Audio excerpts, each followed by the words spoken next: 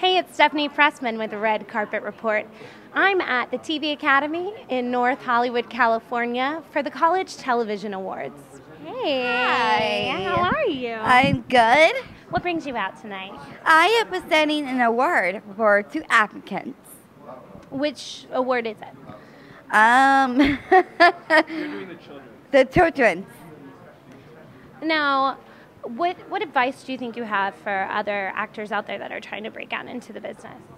Well, I have advice for um, people to be themselves and be unique. Um, and you guys are beautiful. You guys are beautiful, coming from Lauren. So what's going on? Keep watching Glee. Yeah, what's going on with Glee? Got, is this the last season? I don't know yet, so I'm hoping there's gonna be more Becky to come. What's your favorite part about working on Glee? Um, my favorite um, is um, having um, a, great moment with all my Glee family. Yeah, it's really fun to work with all of them. Yeah. Who's your favorite person to work with? You can just, you won't tell.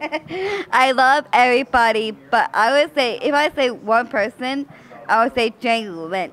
Jane is so much fun to work with. I agree. she's really nice. She's down to earth and real person, but in her real life, she's really mean. Yeah. Super funny. Super funny. Oh yeah. Well, thank you so much for talking with us and have fun tonight. Thank you. You too. Thank you for joining us. If you liked this video, make sure you click like. If you want to see more videos like this one, click subscribe. And don't forget to leave a comment in the comment box below telling us what your best advice for college students is.